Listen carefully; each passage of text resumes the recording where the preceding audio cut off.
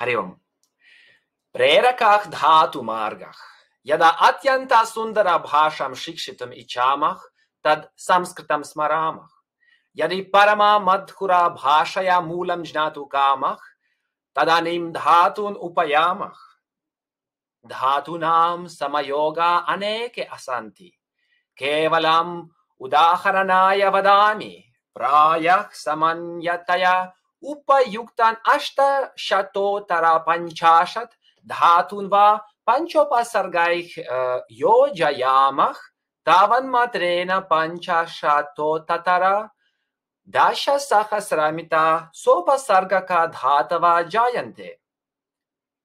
अर्थात् कतिपय शत उपसर्गाणां च उपयोगेन शतसहस्राधिका शब्दान् श्रष्टुं पारयामः प्रायः द्विशतं प्रत्ययैः संयुज्य लक्षाधिकाः शब्दाः लभ्यन्ते संस्कृतं बृहती भाषा अस्ति परं तस्य लघुभागेषु विभाजनं कर्तुं शक्नुमः यदि विभाजकः अस्ति sarvam samskritam sapadi eva avagantum na shakyate.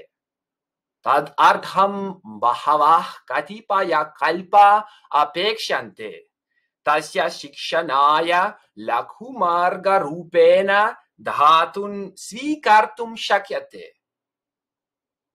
Vishve upayuktasu bhashasu adhikataya prayah प्रायः धातुसङ्ख्या त्रिचतुस्सहस्रमितं वा भवति तत् वरिष्ठासाध्या सङ्ख्या संस्कृते ये धातवः सन्ति ते शर्मण्या भाषया रूसभाषयाश्च तुलनायां समनासङ्ख्याकाः सन्ति प्रायः द्वादशसहस्रधातवः सन्ति प्रारम्भे स्थायिनी तु तथा न दृश्यते किन्तु भाषासु संयमाधिकम् एव भवति यदि क्रियापादं स्वीकुर्मः तर्हि तस्य मूलवास्तु सान्तुं किन्तु तैः सम्भूतानि शाब्दरूपाणि अनन्तानि सन्ति तावतः एव धातून् जनयन्ति